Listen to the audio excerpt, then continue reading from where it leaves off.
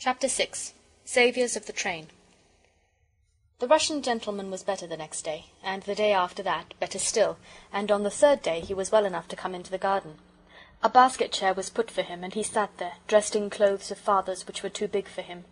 But when Mother had hemmed up the ends of the sleeves and the trousers, the clothes did well enough. His was a kind face now that it was no longer tired and frightened, and he smiled at the children whenever he saw them. They wished very much that he could speak English. Mother wrote several letters to people she thought might know whereabouts in England a Russian gentleman's wife and family might possibly be. Not to the people she used to know before she came to live at Three Chimneys she never wrote to any of them but strange people, members of Parliament and editors of papers and secretaries of societies.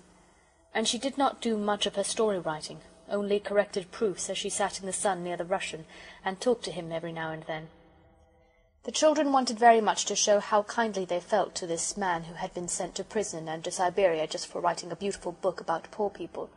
They could smile at him, of course. They could, and they did. But if you smile too constantly, the smile is apt to get fixed like the smile of the hyena. And then it no longer looks friendly, but simply silly. So they tried other ways, and brought him flowers till the place where he sat was surrounded by little fading bunches of clover and roses and Canterbury bells. And then Phyllis had an idea. She beckoned mysteriously to the others, and drew them into the back yard, and there, in a concealed spot between the pump and the water butt, she said, "You remember Perks promising me the very first strawberries out of his own garden?" Perks, you will recollect, was the porter. "Well, I should think they're ripe now. Let's go down and see." Mother had been down, as she had promised, to tell the station master the story of the Russian prisoner, but even the charms of the railway had been unable to tear the children away from the neighbourhood of the interesting stranger. They had not been to the station for three days. They went now, and, to their surprise and distress, were very coldly received by Perks. "Highly honoured, I'm sure," he said, when they peeped in at the door of the porter's room, and he went on reading his newspaper. There was an uncomfortable silence. "Oh, dear," said Bobbie with a sigh, "I do believe you're cross." "What, me? Not me," said Perks, loftily. "It ain't nothing to me. "What ain't nothing to you?" said Peter, too anxious and alarmed to change the form of words. "Nothing ain't nothing. What happens either here or elsewhere," said Perks. "If you likes to have your secrets, have 'em and welcome. That's what I say." The secret chamber of each heart was rapidly examined during the pause that followed. Three heads were shaken.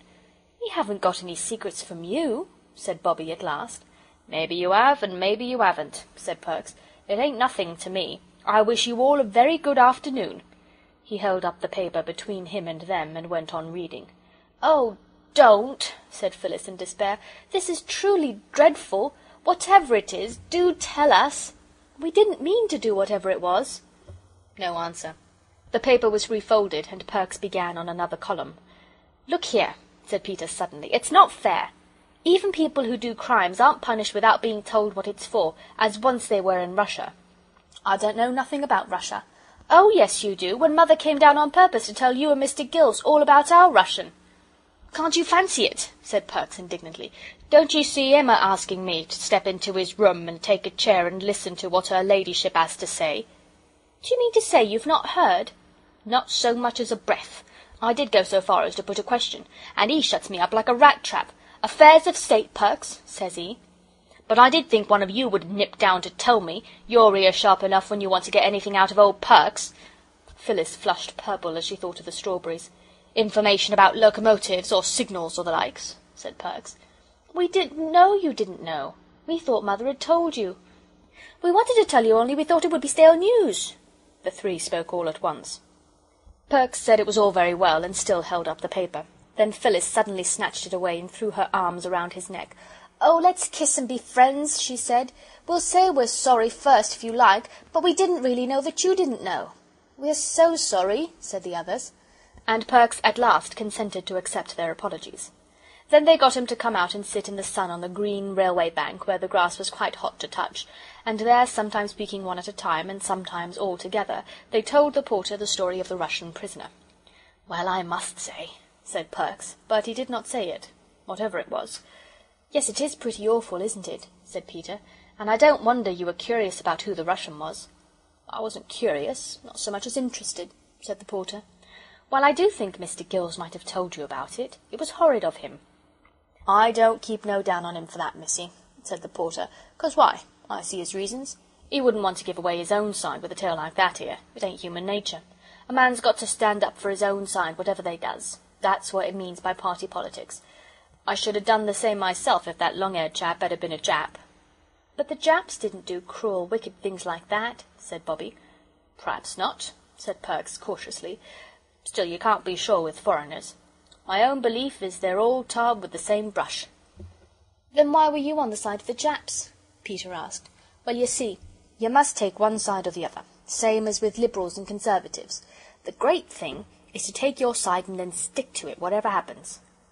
A signal sounded. "There's the three fourteen up," said Perks. "You lie low till she's through, and then we'll go up along to my place and see if there's any of them strawberries ripe what I told you about." "If there are any ripe, and you do give them to me," said Phyllis, "you won't mind if I give them to the poor Russian, will you?" Perks narrowed his eyes and then raised his eyebrows. "So it was them strawberries you come down for this afternoon, eh?" said he. This was an awkward moment for Phyllis. To say yes would seem rude and greedy and unkind to Perks. But she knew if she said no she would not be pleased with herself afterwards. So, "Yes," she said, "it was." "Well done," said the Porter. "Speak the truth and shame the "But we'd have come down the very next day if we'd known you hadn't heard the story," Phyllis added hastily. "I believe you, Missy," said Perks, and sprang across the line six feet in front of the advancing train. The girls hated to see him do this, but Peter liked it. It was so exciting. The Russian gentleman was so delighted with the strawberries that the three racked their brains to find some other surprise for him. But all the racking did not bring out any idea more novel than wild cherries, and this idea occurred to them next morning. They had seen the blossom on the trees in the spring, and they knew where to look for wild cherries now that cherry time was here. The trees grew all up and along the rocky face of the cliff out of which the mouth of the tunnel opened. There were all sorts of trees there, birches and beeches and baby oaks and hazels, and among them the cherry blossom had shone like snow and silver. The mouth of the tunnel was some way from Three Chimneys, so Mother let them take their lunch with them in a basket, and the basket would do to bring the cherries back in if they found any. She also lent them her silver watch, so that they should not be late for tea. Peter's Waterbury had taken it into its head not to go since the day when Peter dropped it into the water butt. And they started. When they got to the top of the cutting they leaned over the fence and looked down to where the railway lines lay at the bottom of what, as Phyllis said, was exactly like a mountain gorge. If it wasn't for the railway at the bottom it would be as though the foot of man had never been there, wouldn't it? The sides of the cutting were of grey stone, very roughly hewn. Indeed, the top part of the cutting had been a little natural glen that had been cut deeper to bring it down to the level of the tunnel's mouth. Among the rocks grass and flowers grew, and seeds dropped by birds in the crannies of the stone had taken root and grown into bushes and trees that overhung the cutting. Near the tunnel was a flight of steps leading down to the line, just wooden bars roughly fixed into the earth, a very steep and narrow way, more like a ladder than a stair. "We'd better get down," said Peter. "I'm sure the cherries would be quite easy to get at from the side of the steps. You remember it was there we picked the cherry blossoms that we put on the rabbit's grave. So they went along the fence towards the little swing gate that is at the top of these steps. And they were almost at the gate when Bobbie said, "Hush! Stop! What's that?" That was a very odd noise indeed. A soft noise, but quite plainly to be heard through the sound of the wind and tree branches, and the hum and whir of the telegraph wires. It was a sort of rustling, whispering sound. As they listened it stopped, and then it began again and this time it did not stop, but it grew louder and more rustling and rumbling. "Look!" cried Peter suddenly. "The tree over there!" The tree he pointed at was one of those that have rough grey leaves and white flowers. The berries, when they come, are bright scarlet, but if you pick them they disappoint you by turning black before you get them home. And as Peter pointed, the tree was moving, not just the way trees ought to move when the wind blows through them, but all in one piece, as though it were a live creature and were walking down the side of the cutting. "It's moving!" cried Bobbie. "Oh, look, and so are the others! It's like the woods in Macbeth!" "It's magic!" said Phyllis breathlessly. "I always knew this railway was enchanted." It really did seem a little like magic, for all the trees for about twenty yards of the opposite bank seemed to be slowly walking down towards the railway line, the tree with the grey leaves bringing up the rear like some old shepherd driving a flock of green sheep. "What is it? Oh, what is it?" said Phyllis. It's too much magic for me. I don't like it. Let's go home." But Bobbie and Peter clung fast to the rail and watched breathlessly. and Phyllis made no movement towards going home by herself. The trees moved on and on. Some stones and loose earth fell down and rattled on the railway metals far below. "It's all coming down," Peter tried to say, but he found there was hardly any voice to say it with, and indeed, just as he spoke, the great rock on the top of which the walking trees were, leaned slightly forward. The trees, ceasing to walk, stood still and shivered. Leaning with the rock, they seemed to hesitate a moment, and then rock and trees and grass and bushes, with a rushing sound, slipped right away from the face of the cutting and fell on the line with a blundering crash that could have been heard half a mile off. A cloud of dust rose up. "Oh!" said Peter in awestruck tones. "Isn't it exactly like when coals come in? If there wasn't any roof to the cellar and you could see down. "What a great mound it's made!" said Bobbie. "Yes," said Peter slowly. He was still leaning on the fence. "Yes," he said again, still more slowly. Then he stood upright. "The 11.29 down hasn't gone by yet. We must let them know at the station or there'll be a most frightful accident." "Let's run," said Bobbie, and began. But Peter cried, "Come back!" and looked at Mother's watch. He was very prompt and businesslike, and his face looked whiter than they had ever seen it. "No time," he said. "It's two miles away, and it's past eleven." "Couldn't we," suggested Phyllis breathlessly, "couldn't we climb up a telegraph post and do something to the wires?" "We don't know how," said Peter. "They do it in war," said Phyllis. "I know I've heard of it." "They only cut them, silly," said Peter, "and that doesn't do any good. And we couldn't cut them even if we got up, and we couldn't get up. If we had anything red we could get down on the line and wave it. "But the train wouldn't see us till it got round the corner, and then it could see the mound just as well as us," said Phyllis. "Better, because it's much bigger than us." "If we only had something red," Peter repeated, "we could go round the corner and wave to the train. We might wave anyway. They'd only think it was just us as usual. We've waved so often before. Anyway, let's get down." They got down the steep stairs. Bobbie was pale and shivering. Peter's face looked thinner than usual. Phyllis was red faced and damp with anxiety. "Oh, how hot I am!" she said, "and I thought it was going to be cold. I wish we hadn't put on our She stopped short, and then ended in quite a different tone. "Our flannel petticoats." Bobbie turned at the bottom of the stairs. "Oh, yes!" she cried. "They're red! Let's take them off." They did, and with the petticoats rolled up under their arms, ran along the railway skirting the newly fallen mound of stones and rock and earth and bent, crushed, twisted trees. They ran at their best pace. Peter led, but the girls were not far behind.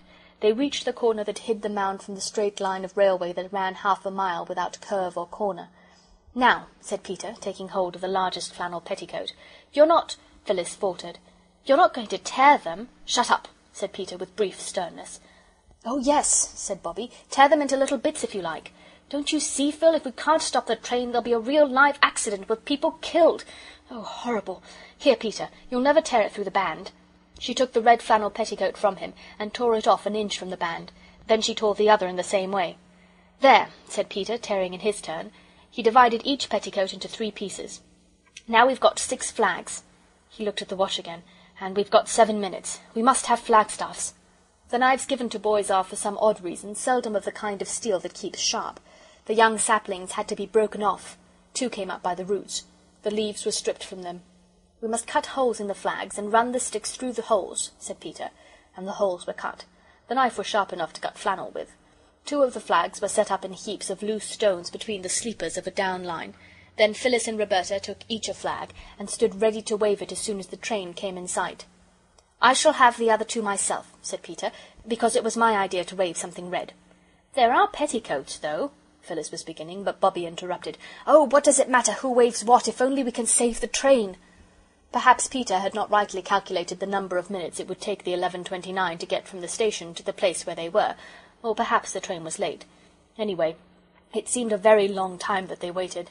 Phyllis grew impatient. "I expect the watch is wrong, and the train's gone by," said she. Peter relaxed the heroic attitude he had chosen to show off his two flags, and Bobbie began to feel sick with suspense. It seemed to her that they had been standing there for hours and hours, holding those silly little red flannel flags that no one would ever notice. The train wouldn't care. It would go rushing by them and tear around the corner and go crashing into that awful mound, and everyone would be killed. Her hands grew very cold, and trembled so that she could hardly hold the flag.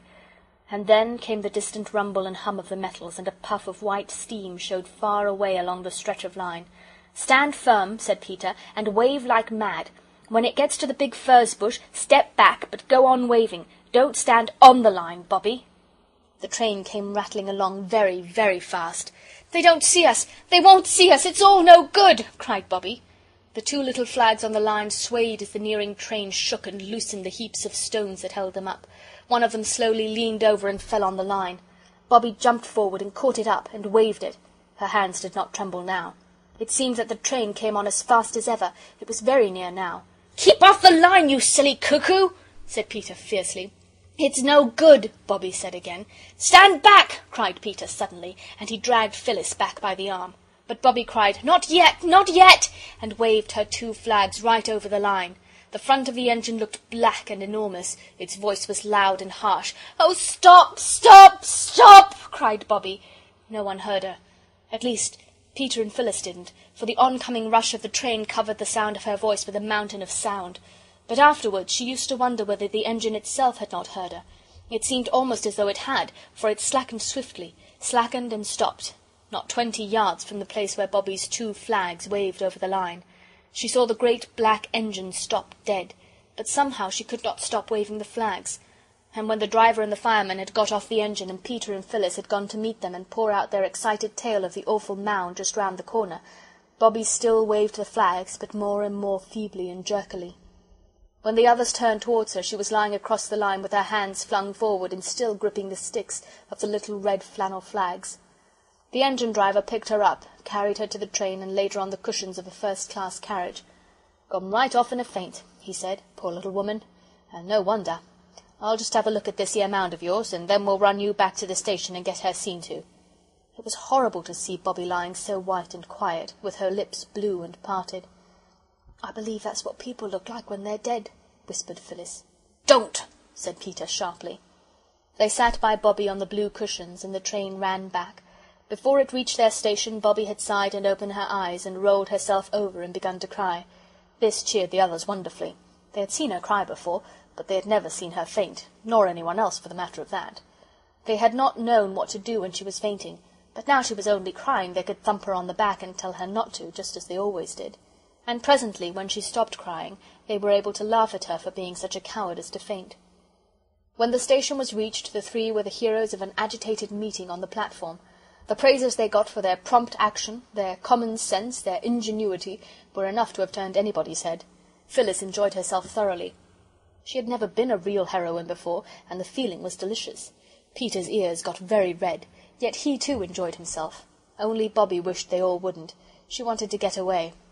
"You'll hear from the company about this, I expect," said the Station Master. Bobbie wished she might never hear of it again. She pulled at Peter's jacket. "Oh, come away, come away. I want to go home," she said. So they went.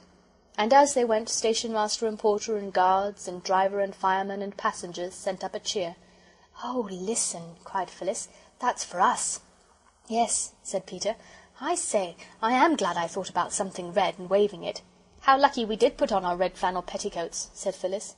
Bobbie said nothing. She was thinking of the horrible mound and the trustful train rushing towards it. "And it was us that saved them," said Peter.